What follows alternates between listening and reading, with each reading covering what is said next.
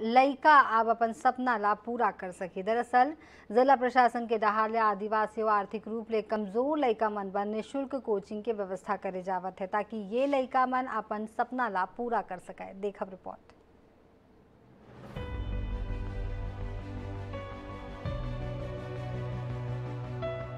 कक्षा में मन लगा के पढ़ाई करत लइका और उतना ही मेहनत ले लइका मनला हर बारीकी, सिखावत शिक्षक। ये नज़ारा कोनो निजी कोचिंग संस्थान या बहुत बड़े शहर में दे जावत कोचिंग क्लास के नो हरे बल्कि ये मुफ़्त शिक्षा सरगुजा जिला में दे जावत। है असल में सरगुजा जिला प्रशासन के आगू ये बात निकल के आइस कि जिला के ज़्यादातर आदिवासी और आर्थिक रूप ले कमज़ोर लइका मन प्रतिभावान त हवे फिर ओकर का ना अतना पैसा नहीं होते कि ओमन नीट और जेई के कोचिंग कर सके।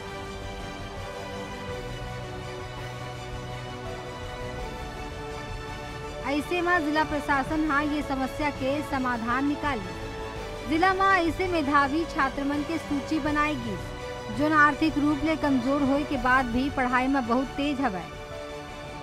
स्कूल मन ले वो लइका मन के नाव मंगवाएगी। और शुरू करेगी इस मुफ़्त में जेईई और नीट के कोचिंग दे के सुविधा।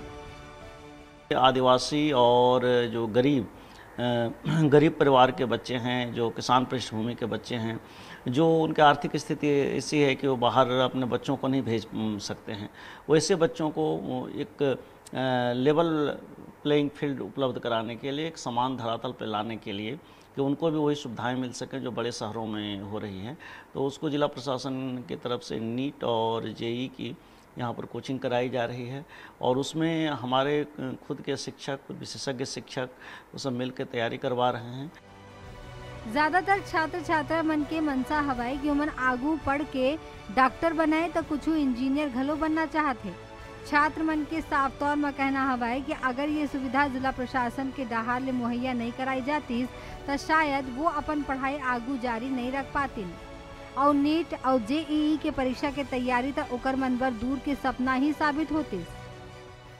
मेरे पापा एक छोटे से मजदूर हैं और हम लोग का घर भी उतना बड़ा नहीं कि हमको प्रॉपर एक रूम मिल सके स्टडी करने के लिए। यहाँ पे हमें हॉस्टल की सुविधा दी गई है, अच्छे से नीट और जेई की यहाँ पे कोचिंग होती है।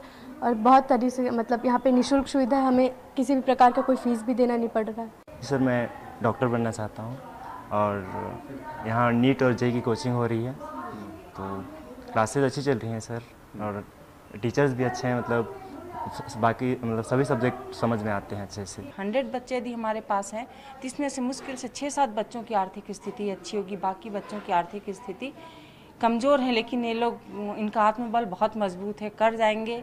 तो आगे स्कॉलरशिप या जैसे भी होगा, पढ़ जाएँगे आगे। ये लइका मनबा जिला प्रशासन के डहार ले शुरू करेगी मुहिम सचमुच मील के पत्थर साबित हो सकते। आवश्यकता हवै ये मुहिम ला ऐसे ही जारी रखे रखेगी, ताकि यहाँ पढ़ैया लइका मन आगू चल के डॉक्टर इंजीनियर के संग ही बड़े पद में अपन सेवा दे पावे।